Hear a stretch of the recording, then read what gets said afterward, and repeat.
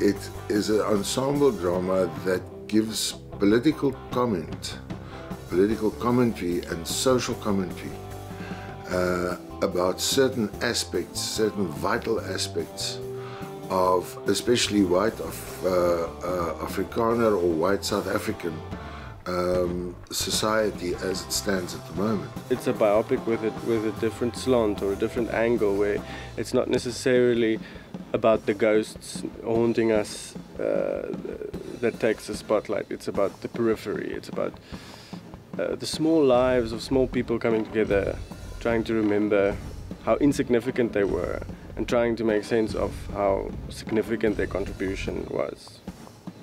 It's about people starting to express themselves. And I think there was a serious build-up and a suppression of people, especially Afrikaans white children who grew up in very conservative homes.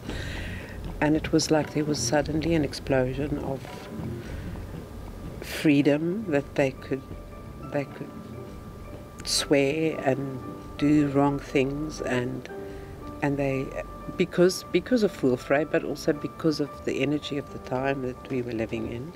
It follows we we cut between two different times in their lives.